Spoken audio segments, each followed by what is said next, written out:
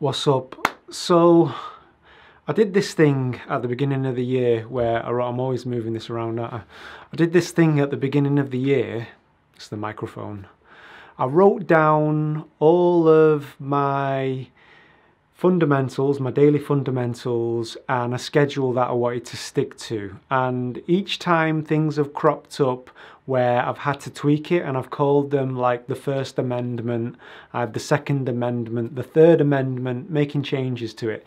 This morning, I made the Fourth Amendment.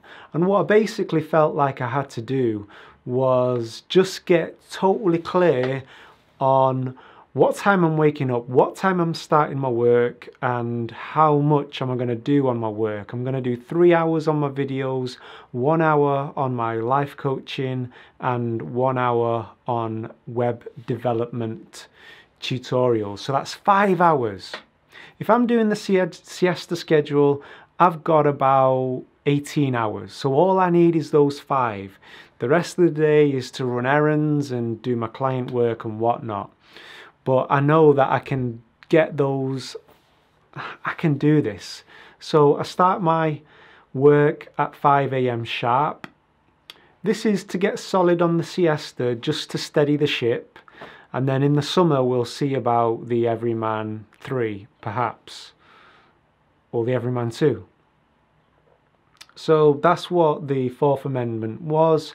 I drew on the positives, which were that I have maintained my weight. I used to be a stone heavier than what I am. Well, not quite a stone, but almost a stone heavier uh, this time last year. And I'm wanting to get into shape now. I went to the gym. I listened to Eric Thomas. I would recommend you check this guy out. He's got this album. Don't know how well you can see that Oh gosh, what am I doing?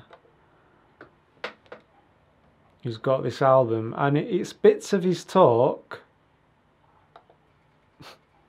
Sorry. It's bits of his talk put together with some beats. So I'm really enjoying that. Uh, to be honest, I was wondering what I'm going to share with you. I'll make this a short one hope you got something from that. I'm going to be ending up saying that sheepishly now at the end of some of these videos because I do want to share something of substance with you. That's it. I'll prepare some notes for tomorrow. So take it easy. Siesta schedule for me. Thanks for the comments. Hussein, thank you, man.